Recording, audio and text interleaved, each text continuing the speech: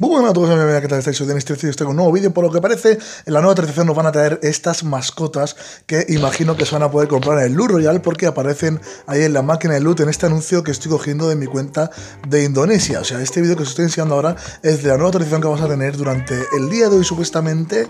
Lo vamos a tener todo. Mirad, aquí sale una mascota que está dentro de la máquina de Loot Royal. No sé si la mascota va a poder ir con nosotros mientras jugamos las partidas o simplemente, la verdad, no me atrevo a decir que porque no sé realmente cómo va a estar, pero sí que vamos a tener mascota. También va a salir una nueva arma. Este arma vas a utilizarla mientras estás peleando contra los enemigos y podrás curar al mismo tiempo a tus amigos. Imagino que a larga distancia, o sea, no tendrás que acercarte a él para curarlo. Y la más, o sea, la skin más esperada por estos días que todo el mundo está hablando ya es esta skin, se llama Moco de Hacker. Bueno, es una skin muy guapa, bueno, una skin no, es una personaje muy guapa con una skin muy guapa que tiene eh, una, una, una característica muy buena y es que tú una vez te estás disparando con alguien, en el momento en que le das una bala, a él le va a salir una especie de señaliza, una como una señalización encima de él donde los demás amigos tuyos de tu squad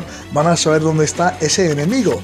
Ah, da igual que esté detrás de una casa o de donde se quiera esconder, que siempre lo van a ver y eso está muy bien. También vamos a tener aquí un nuevo mapa que se va a llamar Graveyard Area. Va a ser como una especie de cementerio por lo que dicen va a estar en el modo clásico normal, ¿vale? No va a ser el purgatorio, pero bueno, yo lo prefiero así porque es el mapa que más me gusta y bueno, este seguramente esté bien porque ya sabéis que todo lo que sea nuevo siempre, por lo menos a mí, me acaba gustando. Esto ya lo enseñado todavía en un vídeo, pero vuelvo a enseñar por si acaso alguien no lo vio. Es una mochila con un cerdito que va a salir en nuestra cuenta de Norteamérica también y este casco de moto asesino. La verdad es que el casco está bastante bien, pero no lo compraré porque vale 450 diamantes también y no, no merece la pena. La mochila seguro que más de uno igual que yo la comprarán. Y cracks, esto ha sido el vídeo de hoy. Esta es toda la verdad sobre la nueva tradición y nos vemos pronto chicos. Chao, chao.